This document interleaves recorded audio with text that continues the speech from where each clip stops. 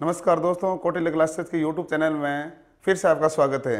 आज हम सॉल्व करते हैं मात्रा का भाग सेकंड जो हमने मात्रक पढ़ा था, उसमें हमने देखा था कि मात्रक हमारे पास तीन प्रकार के थे।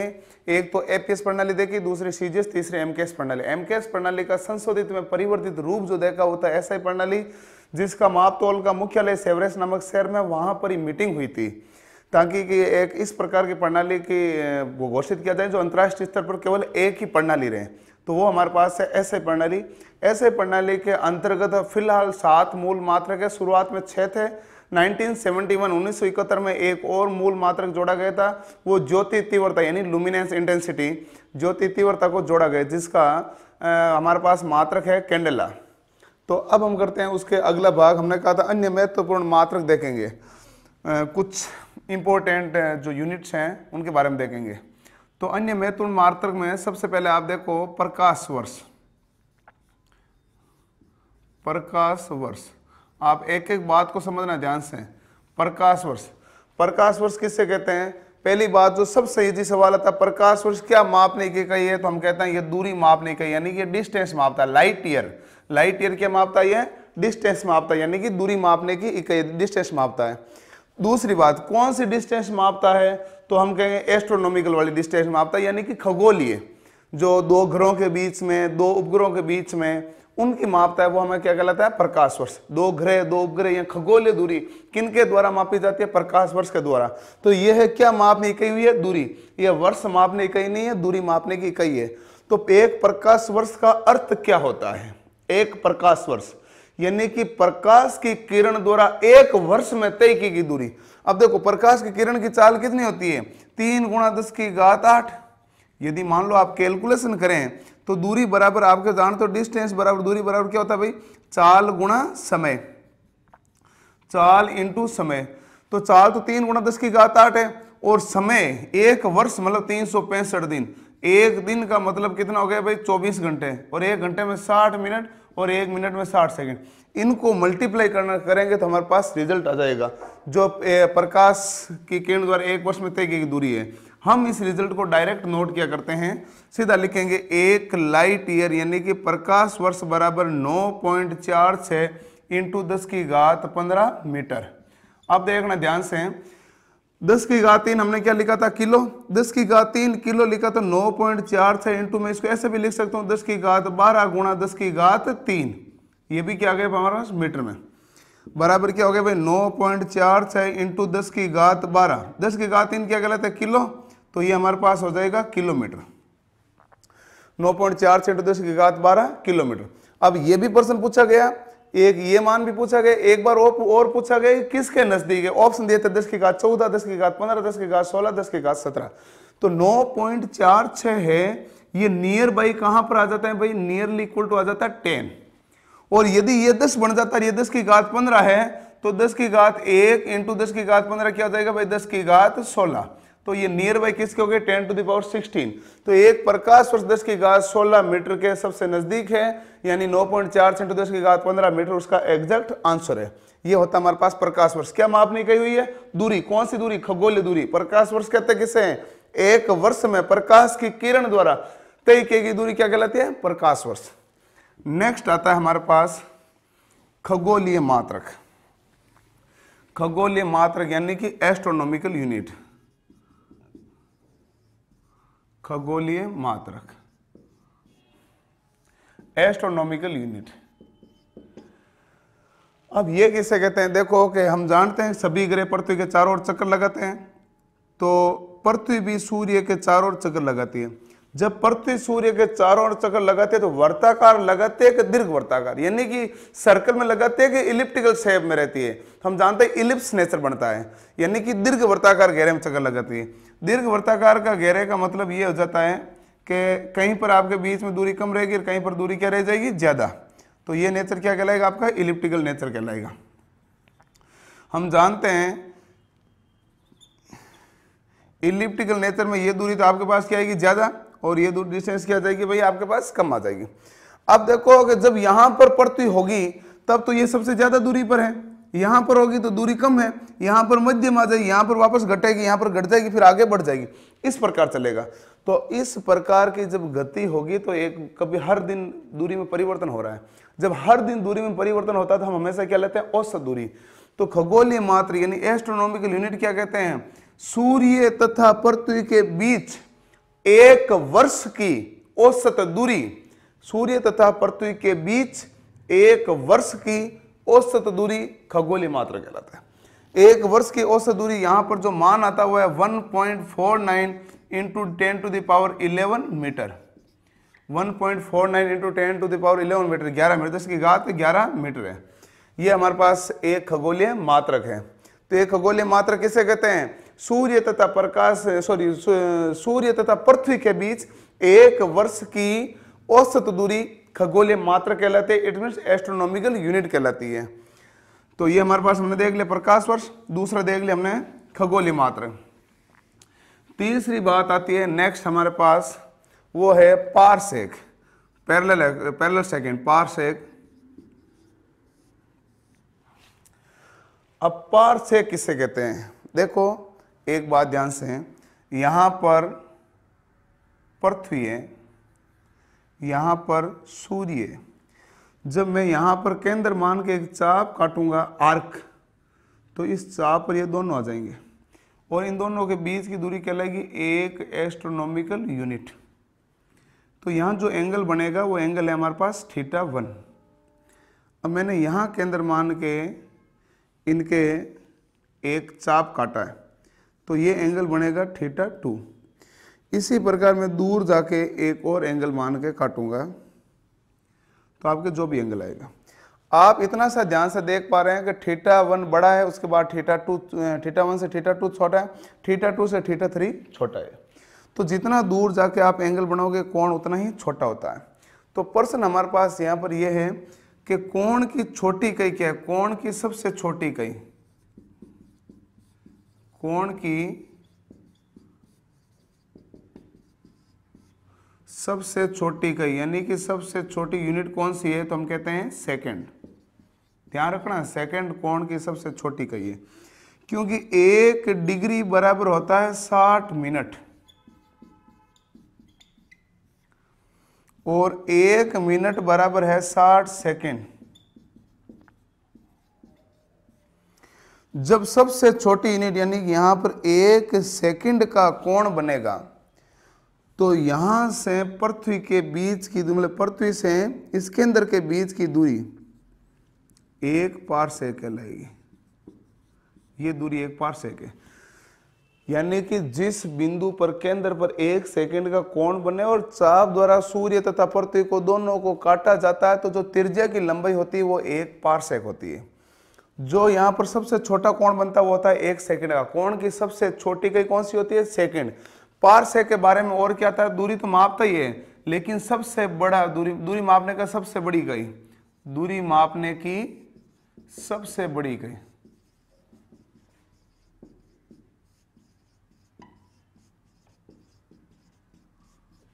यह दूरी मापने की सबसे बड़ी कही है। तो पार्श्व दूरी मापने की सबसे बड़ी है और कोण की सबसे छोटी कही हमारे पास याद रखना सेकंड है। तो एक कंफ्यूजन आता था, समय की सबसे छोटी कही क्या है? समय की सबसे छोटी कही समय की सबसे छोटी इकाई। समय की सबसे छोटी कई होती है सेक एक सेकंड बराबर दस की घात आठ सेक तो समय की सबसे छोटी कई होती है हमारे पास सेक पारसेक, दूरी मापने की सबसे बड़ी कई होती है पारसेक. और ये देखो, समय मापने की सबसे छोटी कई सेकंड लेकिन कौन मापने सेक होती है? समय की मापने सेक होती है और कौन मापने सबसे छोटी सेकंड होती है. तो अब ये तो हमने देख लिया पारसेक है. अब हमें चाहिए पार से दूरी मापने की सबसे बड़ी कही है, लेकिन इसका मान क्या है? इसका मान लिखो एक पारसेक बराबर दो प्रकार का प्रश्न आता है। एक तो होता है तीन पॉइंट दो छ इंटू प्रकाश वर्ष, यानी कि लाइट ईयर। और दूसरा जो मान लिखा जाता है, वो सीधा इनको मल्टीप्लाई कर दो, तीन point zero eight into ten to the power सोलह मीटर। तीन गुणा, तीन पॉइंट ज़ीरो आठ इंटू दस की सोलह मीटर। ये हमारे पास कहलाता है एक पारसेक। तो ये हमने देख लिया, प्रकाश वर्ष देख लिया, पारसेक देख लिया, और खगोलीय मात्रक देख लिया। नेक्स्ट आता है हमारे पास चंद्रशेखर सीमा। चंद्रशेखर सीमा C S L Chandrashekhar limit. Chandrashekhar सीमा क्या कहलाती है भाई?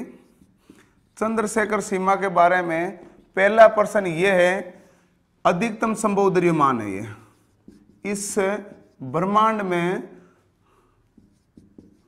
अधिकतम संभव द्रव्यमान यानी कि मैक्सिमल, मैक्सिमम पॉसिबल मास, इससे ज़्यादा मास किसी भी पिंड का नहीं हो सकता। चंद्रशेखर ने क्या कहा था? चंद्रशेखर ने यह कहा था कि जैसे मान लो कोई भी पिंड है, जिसका द्रव्यमान है, उसके चारों ओर के कण सभी उसे केंद्र की तरफ़ आकर्षित करके जोड़े रखते हैं। पिंड जितना ज़्यादा बड़ा हो जाएगा, आकर्षण उतना ही ज़्यादा हो जाएगा। तो जैसे जैसे पिंड बढ़ाओगे तो आकर्षण उसका बढ़ता जाएगा। लेकिन यदि पिंड को और ज़्यादा बढ़ा दिया तो आकर्षण इतना बढ़ जाएगा कि वो चूरा चूरा होकर बिखर जाएगा। जब चूरा चूरा होकर बिखर जाएगा, वो लिमिट है कि किस कितना द्रव्यमान होगा तो चूरा चूरा होकर बिखर जाएगा। उससे कहते हैं चंद्रशेखर सीमा। उस लिमिट को कहते हैं चंद्रशेखर लिमिट। यानी इन्होंने कहा, यदि मान लो कोई पिंड है, यदि मान लो कोई पिंड है जिसका द्रव्यमान सूर्य के द्रव्यमान का सूर्य के द्रव्यमान का एक पॉइंट चार चार पाँच गुना हो जाए तो वो पिंड एग्जिस्ट नहीं कर सकता, वो पिंड पृथ्वी पर मतलब वो पिंड ब्रह्मांड के अंदर नहीं रह सकता। यानी कि अधिकतम कहाँ तक रह सकता है भाई? इस लिमिट तक। इस लिमिट को क्रॉस करते ही उस पिंड का आकर्षण बल इतना ज़्यादा हो जाएगा, केंद्र की तरफ़ वो चूरा चूरा होकर बिखर जाएगा। ये सीमा कहलाती है चंद्रशेखर सीमा। चंद्रशेखर सीमा में एक तो ये पूछा जाएगा, दूसरा नाम क्या होता है? अधिकतम संभव द्रव्यमान। यानी द्रव्यमान की सबसे बड़ी इकाई कौन सी है? चंद्रशेखर सीमा।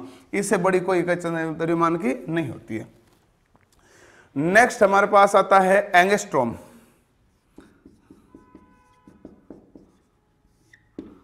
एंगस्ट्रोम। एंगस्ट्रोम क्या होता है? देखो, एंगस्ट्रोम को हम इस प्रकार डिनोट करते हैं। पहली बात ध्यान रखना, ये तरंग दे देद्री मापने की कही है? वेवलेंथ तरंग दे देद्री यानी ये वेवलेंथ मापने की कही है? ये वेवलेंथ वेवलेंथ हम डिनोट करते हैं लेमड़ा से। तो ये तरंग दे देद्री मापने की है। और हम जानते हैं कि एक एंगस्ट्रोम बराबर क्या होता है? Ten to the power minus दस मीटर। एंगस्ट्रोम क्या माप नहीं कही भाई, तरंग दे रही है। एक एंगस्ट्रोम बराबर दस की घात माइनस दस मीटर, तरंग दे रही है। तरंग दे रही है लेमड़ा होता है, वो बराबर होता है आपके पास सी बटा एफ़ सी जहाँ पर होता है प्रकाश का वेग, यानी कि वेलोसिटी ऑफ़ लाइट प्रकाश का वेग। एफ़ होता है आवर्ती, यानी यानी कि फ्रिक्वेंसी तो जो तरंग दे रही है, वो हमेशा एक और प्रश्न आता है। तरंग दे हमेशा आवर्ती के वितरण अनुपाती होता है। यदि आवर्ती को बढ़ाओगे तो तरंग दे क्या हो जाएगा? घट जाएगा। और यदि आवर्ती घटेगी तरंग दैर्ध्य बढ़ जाएगा। तो आवर्ती और तरंग दैर्ध्य एक दूसरे के इनवर्सली प्रोपोर्शनल होते हैं, वितक्रमानुपाती होते हैं। अब देखते हैं हम आगे के कुछ कन्वर्जन नेक्स्ट कन्वर्जन हमारे पास क्या है? उन कन्वर्जनों को आप ध्यान से देखना है। एक गज। गज मतलब यार्ड एक गज बराबर कितने फिट होते हैं? तीन फुट।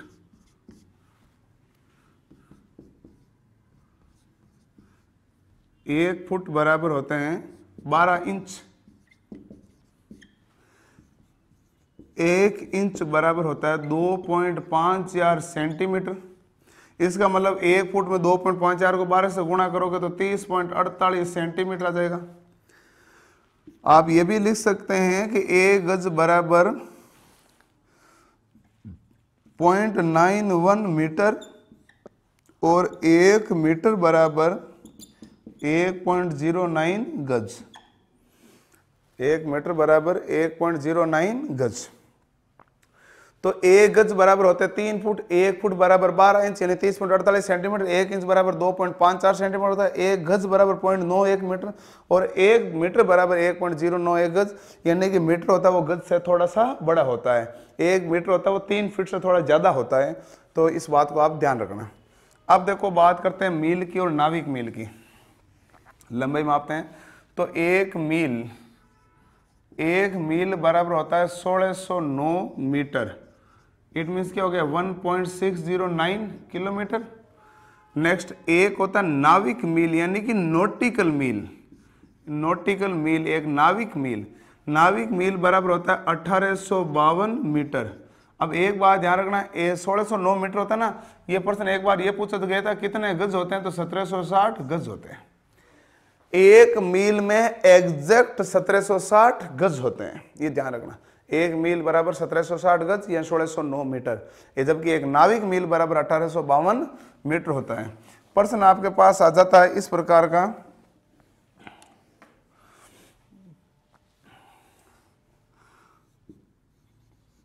पाँच मीटर बराबर कितने इंच? पाँच मीटर बराबर कितने इंच? इसी प्रकार का प्रश्न आए हुए हैं वर्कशॉप कैलकुलेशन के अंदर। तो आप कहेंगे पाँच मीटर, देखो, इसको सोल्व करते स्टेप बाई स्टेप में जाऊँ पाँच मीटर, एक मीटर में आप क्या लिखोगे? एक पॉइंट ज़ीरो नौ गज। तो मीटर किसमें बदल गए गज में। अब आपके पाँच इंटू एक पॉइंट ज़ीरो नौ। अब गज है, और एक गज में कितने फुट होते हैं? तीन फुट। तो यहाँ पर आ गया। अब आपके पास फुट आ गए, हमें क्या चाहिए था? इंच।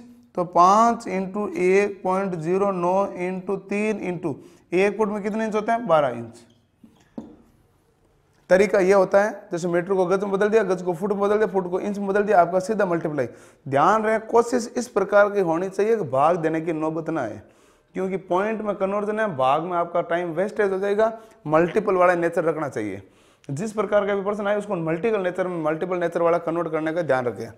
तो पाँच से देखो, सबसे पहले मीटर हमने गज में बदल दिया, फिर उस गज को बदल दिया फुट में, तीन फुट हो गए गज में, और एक फुट में कितने इंच हो गए? बारह इंच अब इनको मल्टीप्लाई करोगे तो पाँच मीटर में हमारे पास क्या निकल जाएँगे? इंच के पाँच मीटर में कितने इंच होते हैं? नेक्स्ट जैसे मान लो पर्सन आ जाए,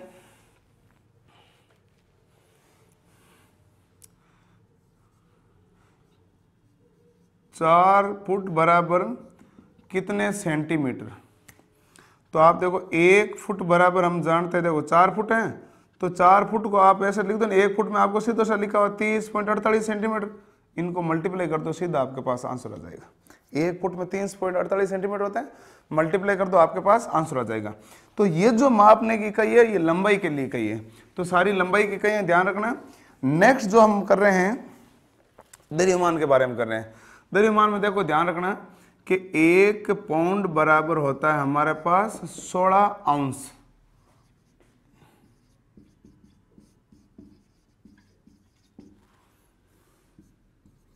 एक आउंस बराबर होता है अट्ठाईस पॉइंट पैंतीस ग्राम।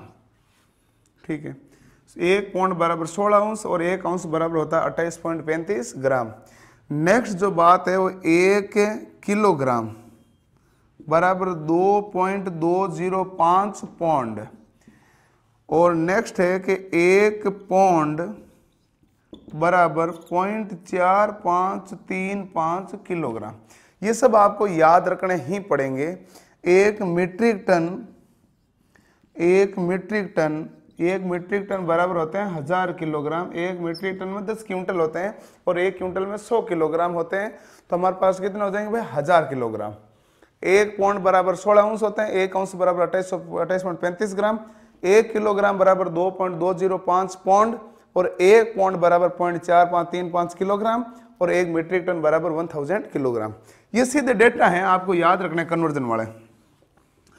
नेक्स्ट है, हमारे पास आता है एक मीटर क्यूब। ये ध्यान रखना, ये आपके मैथ में बहुत बार काम आता है। एक मीटर क्यूब बराबर हज़ार लीटर। जबकि हज़ार सेंटीमीटर क्यूब बराबर एक लीटर। एक मीटर क्यूब बराबर हज़ार लीटर होते हैं, जबकि ए हज़ार सेंटीमीटर क्यूब बराबर क्या होते हैं? एक लीटर होते हैं। नेक्स्ट होते हैं, एक हेक्टेयर बराबर दस की घात चार वर्ग मीटर, यानी सौ इंटू सौ की भुजा मतलब ज़मीन है, वो एक हेक्टर कहलाएगी। सौ इंटू सौ क्या हो गया? मीटर में। सौ मीटर इंटू सौ मीटर की भुजा होती है, वो हमारे पास एक हेक्टेयर कहलाएगी। नेक्स्ट हम स्टार्ट करते हैं। हेक्टर के बाद में हमारे पास आता है एकड़। एक एकड़। एक एकड़ बराबर हो जाता है हमारे पास अड़तालीस सौ चालीस वर्ग गज। एक एकड़ बराबर हमारे पास आ जाता है अड़तालीस वर्ग गज। और एक ध्यान रखना, इसमें चार हज़ार छियालीस, यहाँ इसमें लिख दो आप, चार हज़ार छियालीस वर्ग मीटर भी होता है। एक इनके बीच में संबंध आता है, एक हेक्टेयर बराबर दो पॉइंट चार सात एकड़। एक हेक्टेयर बराबर दो पॉइंट चार सात एकड़। वर्कशॉप कैलकुलेशन में कन्वर्जन बहुत इंपॉर्टेंट है। उसके बाद आपको मैथमेटिक्स से गुण मल्टीप्लाई करना है केवल। ठीक है? ओके अब आता है एक बैरल बराबर होता है 158.98 लीटर जो कि समथिंग समथिंग क्या हो गया भाई? 159 लीटर 159 लीटर एक गैलन बराबर दो होते हैं। एक तो 3.785 ये यूएस पद्धति है। यूएसए पद्धति. और दूसरा होता है फोर फोर पॉइंट फाइव ये होता है यूके पद्धति. तो सामान्यतः यूएसए पद्धति में गैलन का आंसर देना पड़ता है। बाकी 4.5 लीटर होता है, ये लीटर है। 4.5 लीटर हो जाता है हमारे पास यूके पत्ती में। तो कई बार आपके पास यूएसए पत्ती वाला ऑप्शन नहीं होता तो यूके पत्ती से आपको आंसर देना पड़ता है। तो वो 4.5 लीटर होगा, ठीक है? एक गैलन बराबर। तो ये तो आपके थे बेसिक बेसिक कन्वर्जन इन कन्वर्जनों को रखना आपको आराम से, ध्यान से रखना पूरा कन्वर्जन को, कि आप कन्वर्जन किस प्रकार से सोल्व कर पा रहे हैं। ठीक है? ओके अब देखो, इसी चैप्टर के अंतर्गत हमारे पास आती है नेक्स्ट वीमा। तो वीमा को किस प्रकार सोल्व करते हैं? वीमा यानी कि डायमेंशनिंग। डायमें वीमा। एम, एल, टी में जनरली बड़े ब्रैकेट के अंदर होता है, समय से बड़े ब्रैकेट के अंदर होता है बड़े अक्सर लिखा जाता है एम, एल, टी। एम क्या होता है? मास। मास का मतलब क्या जाएगा भाई? द्रव्यमान। एल क्या है हमारे पास? लेंथ लेंथ का मतलब आ जाएगा लंबाई। और टी हमारे पास क्या हो जाएगा? टाइम टाइम का मतलब आ जाएगा समय। अब देखो, अलग अलग राशियों की समान बीमा हो सकती है। अलग अलग राशियों की समान बीमा हो सकती है। और एक राशि की दो बीमा नहीं हो सकती, एक ही बीमा होती है। अलग अलग राशियों की बीमा क्या हो सकती है? समान हो सकती है। सीजीएस को एम केस में बदला एम केस को एफ़ में बदला बीमा कभी नहीं बदलती। बीमा वही रहती है बीमा में कोई परिवर्तन नहीं आता है। यानी कि मात्रकों का आपस में कन्वर्जन यानी कि आपने गैलन को लीटर में बदल दिया, कोई फ़र्क नहीं पड़ता। बीमा आपके सेम ही रहती है। ये हमारे पास डायमेंशन यानी कि बीमा होती है। मैं वन बाय वन करके आपको एक एक एक करके बीमा दिखाता हूँ। सबसे पहले बहुत आसान बीमा क्षेत्रफल की बात करते हैं। क्षेत्रफल क्या होता है भाई? लंबाई गुणा चौड़ाई। लंबाई इंटू चौड़ाई। अब देखो, लंबाई इंटू चौड़ाई, लंबाई किसमें मापी जाती है? मीटर में। और चौड़ाई भी किसमें मापी जाती है? मीटर में। तो मीटर इंटू मीटर क्या हो जाता है हमारे पास? मीटर का स्क्वायर लंबाई इंटू चौड़ाई, लंबाई मीटर में, चौड़ाई मीटर में, मीटर इंटू मीटर क्या हो जाता है? मीटर का स्क्वायर अब इसकी विमा लिखता हूँ। विमा लिखने के लिए देखो, मैं एम एल टी रखता हूँ। देखो, द्रव्यमान है क्या यहाँ पर? यहाँ किलोग्राम में लिखा हुआ है? नहीं। तो द्रव्यमान नहीं तो आप क्या लगाएँगे? ज़ीरो। लंबाई है, बिल्कुल है। कितनी बार है? स्क्वायर का मतलब दो बार है। तो यहाँ पर क्या लिख देंगे? दो। समय है? नहीं। तो यहाँ पर क्या लिख दो? ज़ीरो।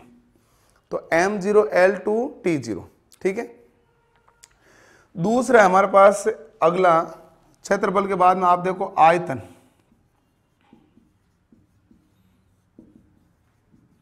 लंबाई इंटू चौड़ाई इंटू ऊंचाई।